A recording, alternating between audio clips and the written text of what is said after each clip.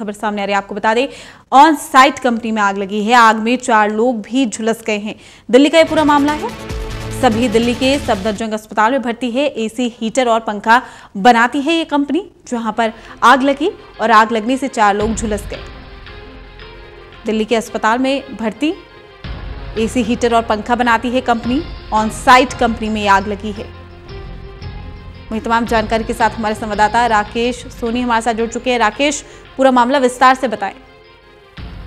तकरीबन बारह बजे के करीब है जो फायर ब्रिगेड को ये सूचना मिलती है कि जो दिल, साउथ दिल्ली का जोनापुर इलाका है यहाँ पर एक गोडाउन में आग लगती है क्योंकि ऑन साइड एक प्राइवेट लिमिटेड के नाम से कंपनी है जहाँ पर ये पोटा केबिन के टॉयलेट और एसी और पंखे ये लोगों को रेंट पे मुहैया करती है कंपनी का चीज़ का काम है और उसी में जो लेबर होती है, वो वहाँ रहा करती है और वो लोग दोपहर में, तकरीबन बारह बजे करीब जो खाना बना रहे थे, तभी जो छोटा एलपीजी सिलेंडर होता है, उसमें आग लगती है उसके आग के धमाके से जो वहाँ पड़ोस में खड़ी गाड़ी वो भी इसकी आग की चपेट में आ जाती है। तो उसी चपेट में आने से जो चार लोग हैं, वो झुलस जाते हैं। तरीके से अभी डॉक्टर से हमारी बात हुई सबसे हॉस्पिटल में जिनका इलाज चला की जो हालत है प्रीति, वो गंभीर बनी हुई है और जिस तरीके से क्योंकि ये जो गोडाउन चल रहा था उसकी अब जाँच करी जा रही है क्योंकि जिस जगह पर ये गोडाउन है, वहाँ पर रियायती इलाका जोनापुर जो गाँव है, वहाँ पर ये गोडाउन चल रहा था तो उसकी परमिशन थी कि नहीं थी और फायर की तरफ़ से एनओसी थी।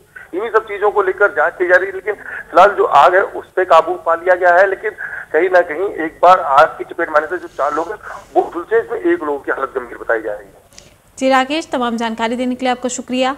तो आग में चार लोग झुलस गए, सभी दिल्ली के सफदरजंग अस्पताल में भर्ती हैं। दिल्ली का पूरा मामला।